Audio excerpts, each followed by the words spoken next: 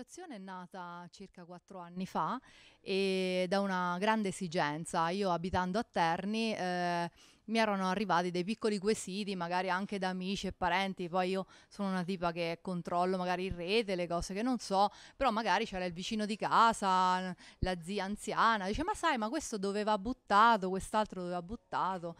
E a quel punto ho detto bene, vado a vedere in rete on, eh, la nostra municipalizzata che cosa mette a disposizione dei cittadini, come fare la raccolta differenziata. A quel punto ho notato che c'era un grandissimo buco eh, a livello di comunicazione. Ho detto bene, allora faccio, siccome che sono un ambientalista da, da quando ero piccolina, eh, ho detto ok, mh, mm, apro un, un, portale ecologico, un portale ecologico che mh, mm, porta informazioni appunto principalmente sulla raccolta differenziata che poi magari può spaziare in altro. E da lì mm, sono partita con la prima domanda come associazione, siamo... Ehm,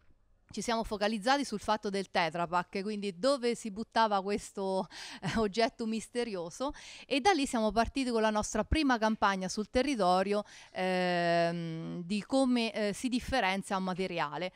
Eh, parte questo comunque noi siamo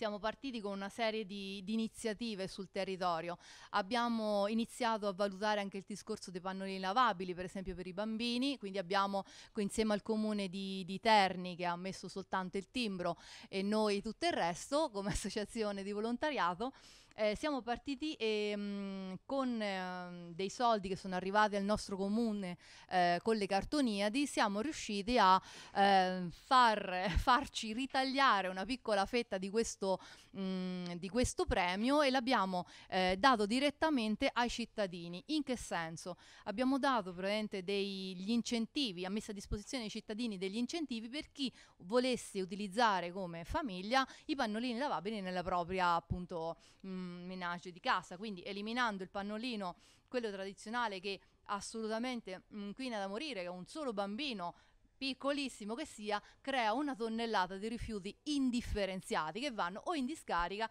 o nel... e quindi fate due conti quanto può essere magari anche in una sola e singola città praticamente tutti questi bambini quanto possono inquinare. È una cosa stupida, però noi siamo andati un po' a colpire quello perché era una de- de- delle cose corpose in città, insomma, che inquinassero. Quindi quella è la nostra, stata la nostra prima battaglia, insomma, per la riduzione. Poi dopo siamo partiti con il discorso dei retini nell'ortofrutta a, live- a, livello nazionale c'è stata la, la, questione della riduzione della plastica nei supermercati, quindi adesso noi se andiamo nei supermercati abbiamo la, eh, la bustina in Mater B oppure ci portiamo da casa noi riutilizzabile, cosa che già faceva nostra nonna anzitempo. Eh, un'altra cosa che invece al momento adesso stiamo portando avanti è la legacciola insieme allo slow food. Ehm, e questa è praticamente un po' eh, in, in, in, memoria della... Mh, mm, la legacciola era praticamente la, il fazzolettone che il, mm,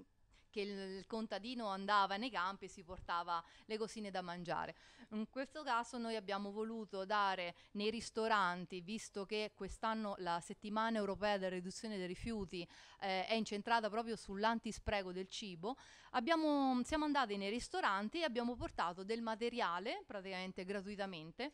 eh, perché per fortuna abbiamo vinto un, eh, un, un, con questo progetto eh, un concorso e quindi appunto uh, siamo riusciti a prendere qualche soldino. Eh, con questo portiamo dei, mh, mm, questi cartoncini da inserire dentro i menu, di modo che il cliente che arriva praticamente dopo che magari ha visto sul, sull'ingresso anche questo che è il, l'adesivo da mettere alla porta, e legge e praticamente eh, è una cosa carina perché il, il, ristorante aderisce a un antispreco, significa io vado a mangiare, mi avanza qualcosa, invece di essere timido oppure di oddio mio faccio una figuraccia se mi porto via qualcosa da mangiare, invece in realtà quello che mi ha avanzato, ben venga, mi, ho anche lo stimolo in più per chiederlo, infatti noi diamo in, in dotazione al ristorante eh, questi, mh, mm, questi, semplici contenitori, che di solito magari il ristorante ha il suo, non so, in, in, uh, in, alluminio, eccetera, noi diamo questi contenitori che sono in cartone esterno in B interno per non far... Um, sporcare il cartone e gli abbiamo dato anche questa fornitura gratuita ai ristoranti e di modo che appunto ecco è tutto un circolo virtuoso per eliminare lo spreco che è in, eh, nella tavola e che purtroppo anche lì alla legge dei grandi numeri è tantissimo